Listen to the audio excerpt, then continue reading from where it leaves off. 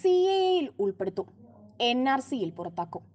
എന്താണ് N R C N R C എന്നാൽ national register for citizens പൗരത്വ പട്ടിക എന്ന് പറയാം. ഇത് എൻ പി ആർ എന്ന നാഷണൽ പോപ്പുലർ രജിസ്ട്രേഷനിൽ നിന്ന് വ്യത്യസ്തമാണ്. സെൻസസിന് സമാനമായിട്ടുള്ള ഒന്നാണ് എൻ പി ആർ ഇവിടെ സർക്കാർ ഉദ്യോഗസ്ഥർ പൗരസമൂഹത്തെ എണ്ണിത്തിട്ടപ്പെടുത്തുക മാത്രമാണ് ചെയ്യുന്നത്. എൻ ആർ സി പക്ഷേ കേവലം ഒരു സെൻസസ് പ്രക്രിയയല്ല. ഈ സംവിധാനത്തിൽ സെൻസസ് നടത്തുന്ന ഉദ്യോഗസ്ഥർക്ക് പൗരന്മാരുടെ ദേശീയതയിൽ സംശയം ഉന്നയിക്കാം.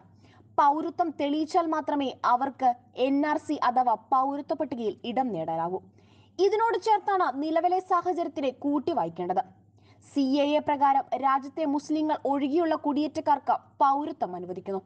ആ പ്രക്രിയയ്ക്ക് ശേഷം അധികം വൈകാതെ എൻ ആർ സി നടപ്പാക്കുമെന്നുറപ്പ്.